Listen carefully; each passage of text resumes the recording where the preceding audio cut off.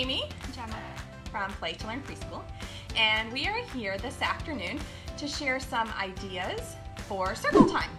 The other day when we were sharing our thematic blue boxes with you, we had opened up the apple box and the fall box.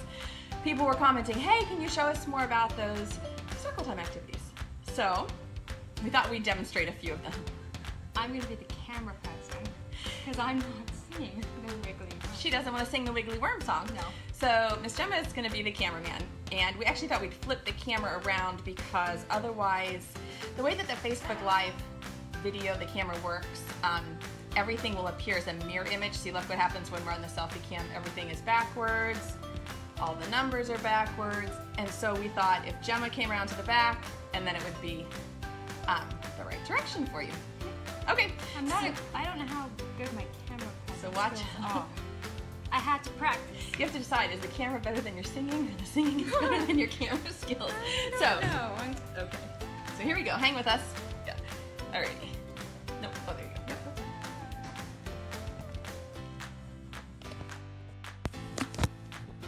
Okay. Are we on? See, now I have no idea what's going on. we're on. Oh, Okay. there we go. Alright. Hey. Hi. Is that good? So I'm just in this blind now. I can't see any of your comments. Gemma's going to read them to me. I'm gonna try. And um, I'm good. Yeah. Okay. So we've got a couple of uh, tips first before I give you an example of some circle time activities. And the first tip that I have for you is that we always try to make circle time activities active because that's the word, right? Activities. So whenever we're planning circle time, we try to think, what is the teacher doing? But more importantly, what are the kids doing? What are they touching? What are they, um, how are they moving? What are they saying? How are they active in the circle time activity? So that's first, that the circle time activity has to be active. And second, I think it's so important that we really pay attention to the um, age and attention span of the kids. We use as a rule of thumb one to two minutes per year of their age, which means if you have two year olds, that their circle time might only be two to four minutes. For us with our three year olds, we start with three or four minutes, and our goal by the end of the year, when they've turned four, is eight minutes. So we build up that time throughout the year. Right now, with our pre K students, they're four here at the beginning of the year, so we go between, they're really good for about five minutes, four to five minutes, and then by the end of the year, when they're five, we'll have a 10 minute circle time. Last week I was explaining how we do our name songs at the beginning for literacy and it's just a morning welcome and warm up. But then we have a second circle time midway through the day when we do something thematic. So that's what I'm going to share with you now are, how many examples did we get out? Like six different circle time lessons that we do with our own kids that we think would be really easy with your kids too. So hopefully you can get one or two ideas to use with your own class. Are we good? Yes. Okay. One of our favorite circle time activities is like a hiding game. We have lots of different versions of this where we hide things and ask the students to close their eyes and try to figure out what we're doing. And the one I'm going to share with you is that Wiggly Worm. It's a little poem um, that I wrote, and it's called, it goes, Wiggly Little Worm, here's the little guy, is crawling on the ground. Under which apple will he be found? Or will it be found? And so what we do, can you guys see the table? Okay, so we have spread out here are eight different apples, and they're numbered. One, two, three, four, five, six, seven, eight. And I'll introduce that to the students and have them count. And we'll talk about how the eight apples are different colors. We've got a red, an orange, you know, we talk about that just for a minute. And it's in rainbow order. Of course it's in rainbow order. Likes rainbow. I do like them. and so then what I'll ask the students to do is, boys and girls, close your eyes really quickly. Close them, close them, close them, and I hide the worm. And I say, open your eyes. Who would like to guess where the worm is hiding? Of course, now, oh, me, me, me, I want to guess. And so Susie will say, I think he's under the orange number two. And we'll look, oh, no worm. Who wants to guess next? And Johnny will say, I think he's under green number four. No worm. And then um, little Sarah will say, I know, I want to guess blue number six. And so when we open it up, there's the worm. and they all get so excited. We found the worm, and we just play that again. It's really good for transition times too. Um, when you only have a few minutes, you know, if you're waiting for dismissal, because it can go as long as you want it to go or as quickly as you need it to go. So this is the first one. If you don't have this printable, it's in my apple unit, but if you don't have it, you could just draw apples on different colored paper and put numbers on them and cut out a little brown worm. Um, easy enough. Easy. Okay, is anybody watching? Are there any Yes, questions? I- no questions. No questions yet, okay. Just some hi. Hi, everybody. and Thank you. Okay, so that's activity number one. Hide something and have them use um, guessing skills and also work on color and number identification. Um, so the second one that I'm going to show you is something that we try to do with every unit no matter what, and that is a sensory activity. So if we're studying apples, probably one of the very first circle times that we'll do is just bring a basket of apples, make sure that everybody has one, and we'll just talk about how we can use our senses to explore the apple. Um, and so we'll just, especially in the fall, talk them through. Let's look at the apples. What do you see with your eyes? And of course, they all have one, so they're excited. And if it's apples, I'll have to say, don't eat it yet. Um, you know, and then let's feel it with our fingers. And what do you feel? Um, what do you notice is different, you know, about the apple? This one has a stem and this one doesn't. Um, can you smell it? Can you hear it? Um, and then it maybe later we'll say we'll taste them at snack time.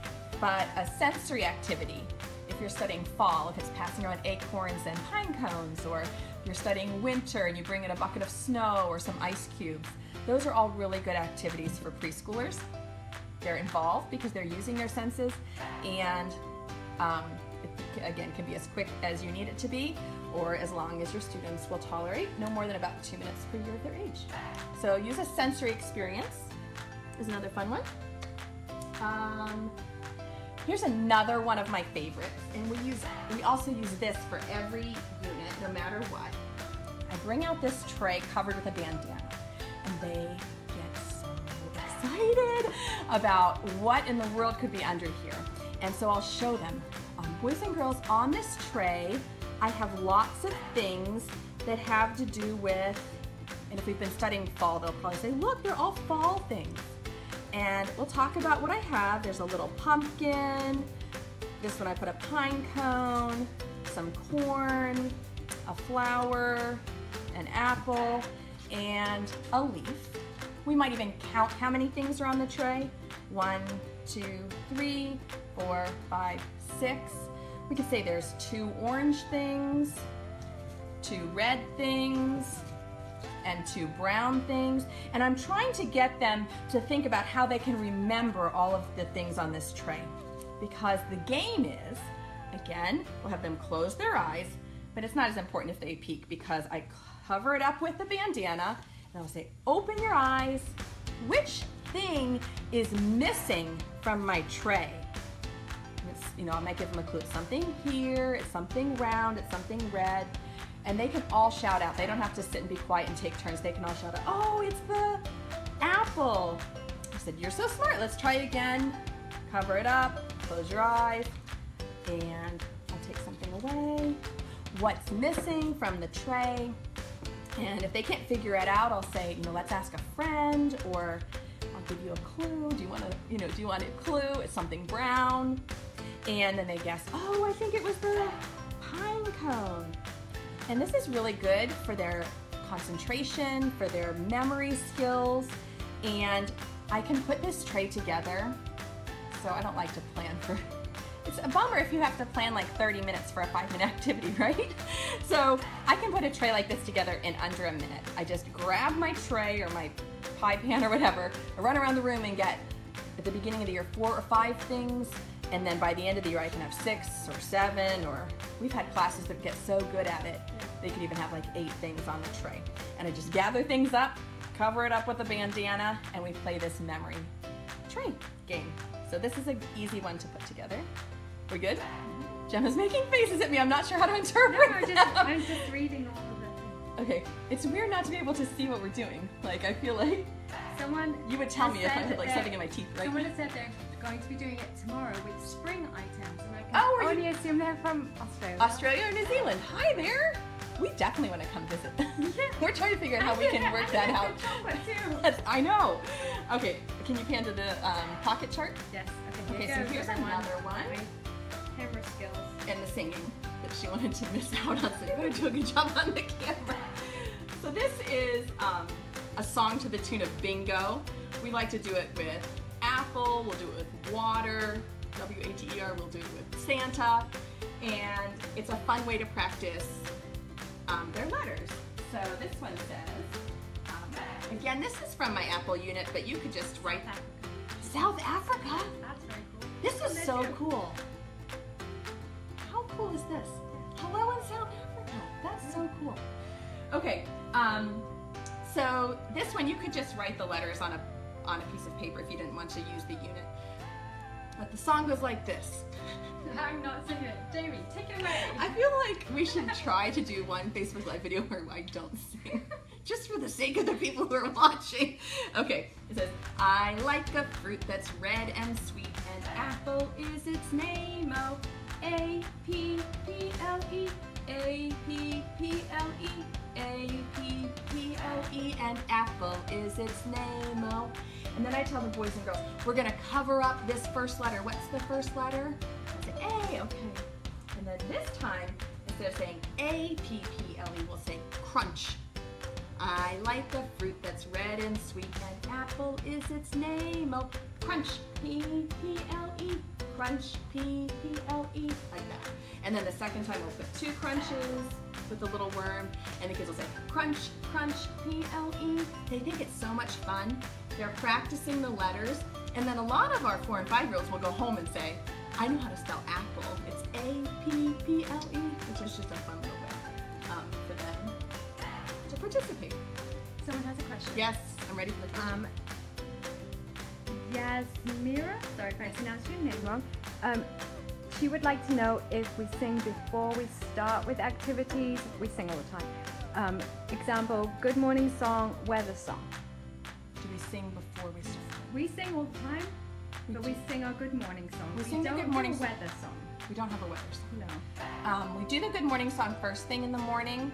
Um, if I'm understanding the question right. And then depending on what the thematic, Sometimes we'll sing for that, sometimes we will not sing. depending on what the activity is, we'll sing or we won't sing in the middle.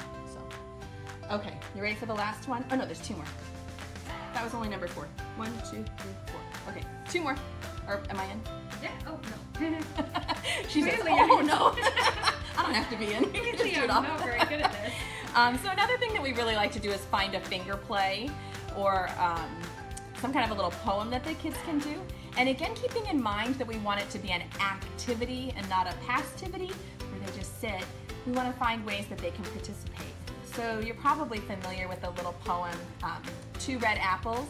And we like to do that and invite the kids to participate rather than just even holding their hands up. We'll give them two little apple counters or we'll make red cutouts of the apples and we'll give two for each child and then they can sing the song. Way up high in the apple tree two red apples smiled at me. I shook the tree as hard as i could and then they drop them. Down came the apples. Mmm they were good. And they love to hold onto their apples and then drop them. This is a good one if you have two-year-olds who might not have the language skills to participate with you. So you can give them something to hold and do nearing you. And they think it's so funny. Do it again. We want to drop our apples. So we put them up high in the apple tree and shake it, and they drop them. Um, so simple, but it's getting them to follow directions and participate and hopefully develop their language skills too. Is that good? We're good? Okay. There's also other people joining us. Hi, everybody. Texas and Texas? North Carolina. Hi, North Carolina. That's close. Um, Hi. It's so fun to see people from all over the world and the country. There have been a lot of English people too. Gemma's got a lot of friends across the pond. I know if that has anything to do with me. all right, and then the last one that I want to share with you is sorting. So sorting is a really important skill for our preschoolers, and it's one we try to do with every unit also. So if we're studying spring, for example, down South Africa, we might have a basket of clothes and we would sort them. Is this something you could wear in this spring or is it something you wear in the summer? Um, if we're studying farm, I might pull out all of my plastic animals and we'll sort them. Are these animals that live on the farm or don't live on the farm? So I just pulled an example that we had out. Um, we're studying letters, of course, and so far we've learned the letter T and the letter F. This is a little alphabet soup game from Learning Resources, but you could use your own, just even a T and an F down on the carpet. And I give every student a picture. You know, I'll just pass them around. So every student has a picture, and then they hold up their picture. So this is a fence, and they just have to sort it. Does fence start with F or does it start with T? And so they say, oh, it goes with F, and they put it in the can. Um, what about fish? Does it start with F or does it start with T? And the kids will say, fish, it starts with F. Um, what about tiger? Oh, it starts with T. So anytime you can give them each a piece and work on sorting together, we did it the first week of school with, is that a good choice to make as far as behavior or bad choice? Um, we do it with the seasons, we do it with clothes, we do it with, like I said, animals. Um, with transportation, we might sort wheels or no wheels, um, or we'll sort into three categories is it in the air, on the ground, or in the sea. Anytime you can get students to sort, it's really good for their cognitive skills. So that's about it. Um, those are our tips and tricks for circle time. If you are local, here in Virginia, I'm doing a full three hour workshop on Saturday about how to run an effective circle time. It's free. All of the classes that I offer on Saturdays are free. So if you are local, message me and I'll give you some more information about, you can find my email on my blog. Um, but leave me a message and I will be happy to tell you how to sign up for those free classes. If you're not local, stay tuned because Gem and I will be back on Facebook every afternoon with tips. Um, I had a question that uh, someone is working with two-year-olds. Yes, two-year-olds.